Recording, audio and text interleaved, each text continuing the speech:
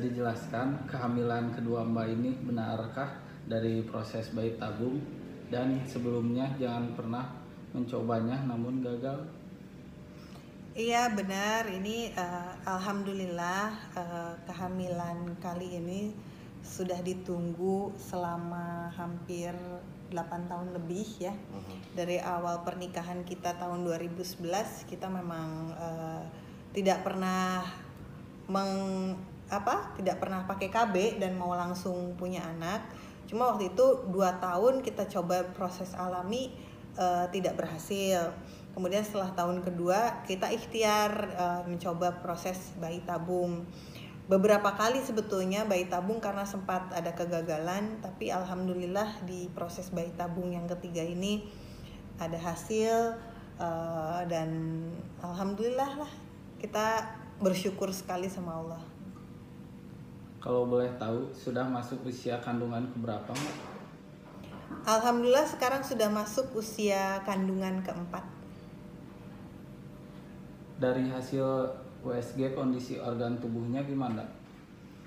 Kemarin kita baru saja selesai cek dari dokter di usia kehamilan keempat dan alhamdulillah semuanya berjalan sesuai apa ya sesuai dengan seharusnya gitu ya jadi misalnya usia usia 4 bulan tuh panjangnya harus berapa senti beratnya harus berapa gram itu semua uh, terpenuhi, bayinya berkembang dengan baik, dengan sehat, kondisinya uh, kelihatannya sehat, alhamdulillah. Dan benarkah adanya pengentalan darah? Ya memang uh, salah satu faktor yang bikin uh, aku agak sulit uh, hamil itu selain faktor usia ya, aku juga bukan anak muda lagi usia 20-an.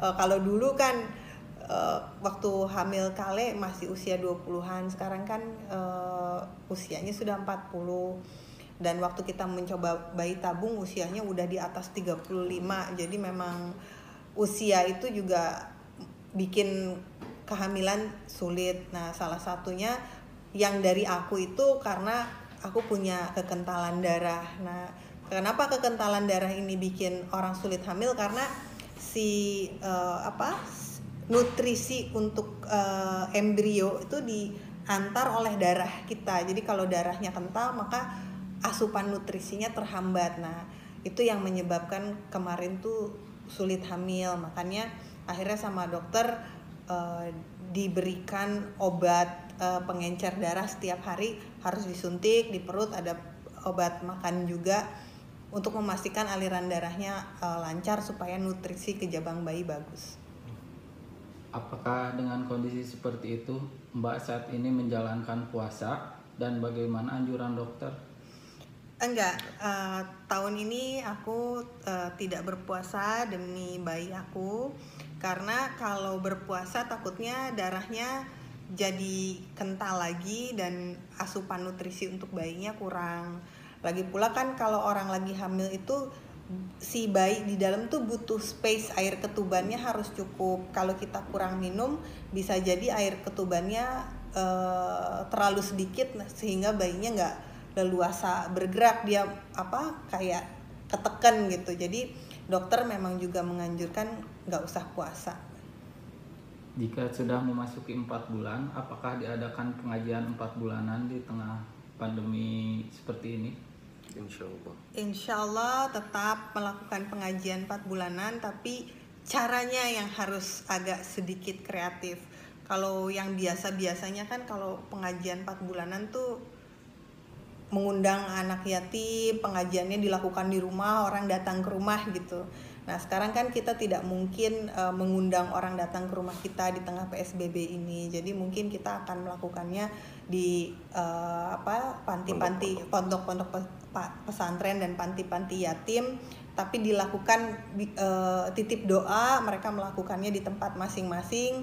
Jadi tidak ada pergerakan mobilisasi uh, pergerakan masa dari satu tempat ke tempat lainnya. Jadi cukup dilakukan di beberapa tempat sekaligus gitu kondisi kehamilan Mbak saat ini bagaimana mualkah lemas agak manja atau susah makan dan ngidam apa saja Ya kalau mual memang dari awal kehamilan tuh mual-mual. Jadi memang kehamilan kali ini agak berat buat aku karena dulu waktu hamil kali aku nggak ada morning sickness atau apa gitu ya mual-mual. Di kehamilan kali ini itu bukan morning sickness namanya, tapi all day sickness. Karena mualnya tuh dari pagi, siang, sore, malam ya bisa kapan aja datang gitu. Tapi ya eh, ternyata aku udah menemukan triknya juga. Jadi eh, harus intinya tuh perut tuh nggak boleh kosong. Kayak dua jam sekali harus makan sesuatu meskipun sedikit gitu. Jadi ya memang harus agak lebih meskipun pasti nggak nggak apa ya nggak nggak nafsu makan gitu ya karena karena lagi mual tapi harus dipaksain sedikit dua jam sekali tuh makan ada yang masuk. Manja manja nggak sih? Normal sebatas normal. Eh, ya namanya orang lagi tidak berdaya kan lagi. Memang jadi eh, karena usia mungkin karena usia sudah 40 juga beda dengan orang hamil dengan usia masih muda. Memang bawaannya tuh badan pegal-pegal terus eh, sering sakit kepala mual. Ya cuman ya dinikmati saja dan alhamdulillah aku udah punya suami yang sangat apa ya perhatian. Jadi kalau misalnya aku harus makan dua jam sekali dia yang udah sibuk nanya ini "Ben, kamu mau ngemil apa? Gitu. Nanti abu udah beres makan dua jam berikutnya dia nanya lagi kamu mau diisi makanan apa? Gitu. Jadi kooperatif lah gitu. Jadi aku merasa menjalani kehamilan ini meskipun eh, kehamilannya lebih berat daripada kehamilan sebelumnya tapi aku punya pendamping yang yang mendukung aku gitu. Untuk makanannya susah nggak cari makanan yang Mbak inginkan? Hmm, susah-susah gampang sih. Apalagi di masa apalagi di Sekarang, masa lagi covid seperti ini kan juga su apa cuman nggak pernah sih aku mengidam misalnya makanan restoran apa gitu yang sekarang tutup nggak. Jadi aku lebih banyak sekarang tuh ngidam tuh makanan-makanan masa kecil aku masakan-masakan yang dulu mama buat. Cuman problemnya karena mamaku di Bandung dan sekarang PSBB dia nggak bisa datang dan masak. Sehingga jadinya eh, pasti suamiku yang nelfon mama gitu mah ini eh, Acel minta udang goreng mentega tapi yang khas mama gimana bikinnya gitu jadi tiap hari nanya resep ke mama karena aku selalu minta masakan mamaku Bagaimana rasanya diberikan anugerah kehamilan oleh Allah di tengah pandemi COVID seperti ini? Agak was-was juga atau seperti apa? pasti bersyukur ya bersyukur pasti namanya namanya ini kehamilan yang sudah ditunggu-tunggu ya bersyukur pasti udah 8 tahun lebih ya kita tunggu sangat bersyukur.